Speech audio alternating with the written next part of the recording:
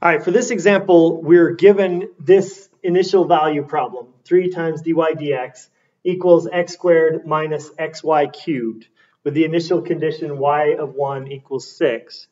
And we're, we're asked to determine whether our theorem, theorem 1, um, implies a unique solution to this problem. And remember that that, that theorem that we called theorem 1 said this, that if we've got a, an initial value problem in the form dy dx equals some function f of xy,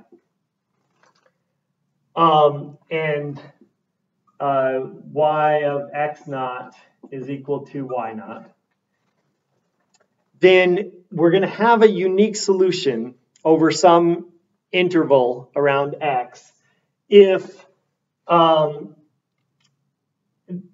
if f of xy and uh, the partial derivative of f with respect to y are continuous um, in some rectangle uh, containing containing uh, the point x naught y naught.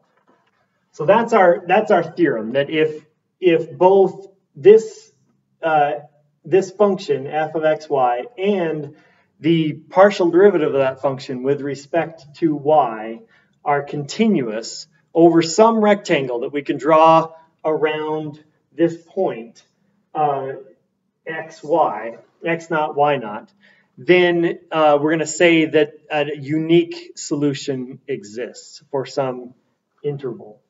All right, um, so let's let's apply that to this initial value problem.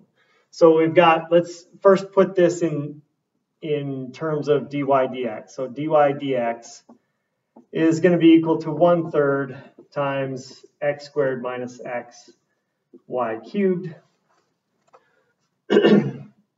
and uh, so our function f of x y is this, 1 third x squared minus x y cubed. And then um, the derivative, the partial derivative of this function with respect to y, uh, well, x is going to be constant, so that's a 0. This one we're going to bring down to 3, but then we're going to multiply by that 1 third.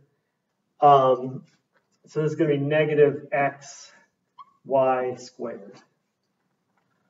All right, so here's our here's our function. Here's the partial derivative of that function with respect to the dependent variable. And we can see that um, if we've got some rectangle containing the point 1, 6, um, if we can we draw some rectangle where both of these would be continuous through that um, through that rectangle? Well, yeah, both of these are going to be continuous everywhere. So of course we can draw a rectangle around that point. Um, so the answer to this is yes. Um, yes, this implies a unique solution. All right, now let's let's look at the our other example, which was uh, dy dx equals uh, 3y to the 2 thirds. And y of 2 equals 0. All right, so our function f of xy is 3y to the 2 thirds. And the partial derivative of that function with respect to y is then going to be, if we bring that 2 thirds down, that's 2 uh, y to the negative one third. All right.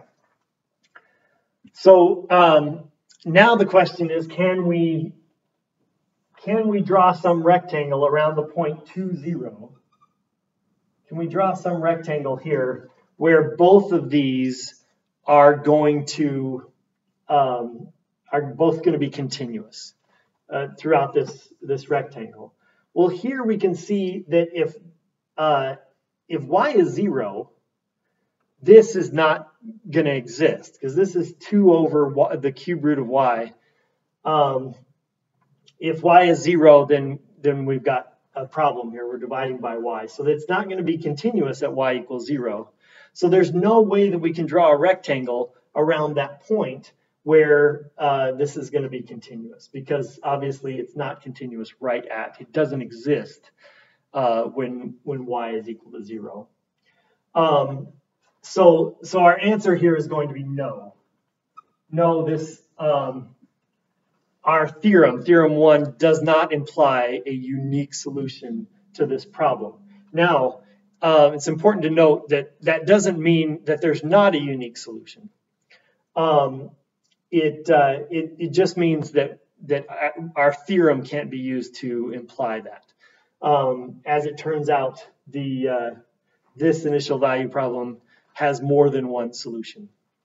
Um, but uh, but we can't tell that. We can't really tell anything from this theorem if if both of these conditions aren't satisfied. Um, one more thing I wanted to note about this is that if this were uh, y of 2 equals 1, say, now um, we could draw a point, we could draw a rectangle around this point uh, 2, 1, where these would be continuous just as long as we didn't get down to the x-axis. So that would imply um, a unique solution over some interval, um, just as just so long as we don't have that that point y equals zero. Um, all right, so hopefully that gives you some idea of what we mean uh, by whether or not this theorem implies a unique solution.